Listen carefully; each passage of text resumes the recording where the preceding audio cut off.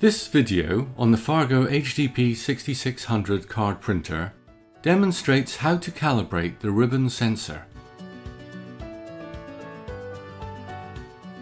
Open the printer door and remove the print ribbon.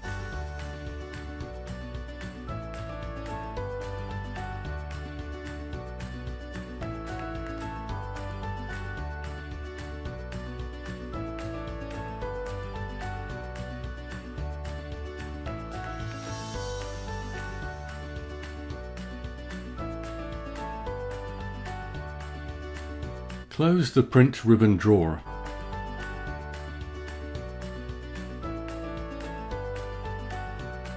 Then close the printer door.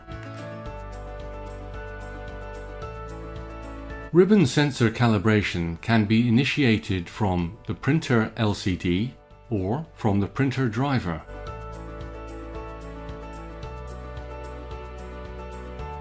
Press the Tools button.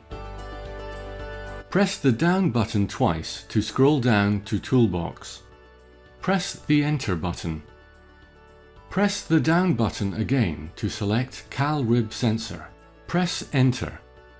The printer starts calibrating the ribbon sensor. Successful calibration is indicated by Calibrate Passed. Press the right hand button to dismiss the message.